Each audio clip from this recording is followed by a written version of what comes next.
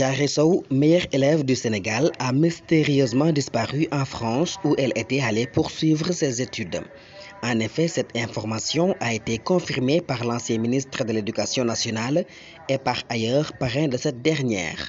D'après IGFM qui vend la mèche, c'est vers 18h que le consulat du Sénégal a saisi la police après une alerte de l'établissement. Les premiers éléments de l'enquête révèlent que la dernière fois que Diaré Sow a budgé au niveau de sa résidence remonte au 4 janvier dernier. Ses camarades ne l'ont pas vue depuis lors et elle ne répond ni au téléphone ni au mail. Serigne Baycham a également confié au journal que les services de l'ambassade et du consulat du Sénégal sont mobilisés pour la retrouver.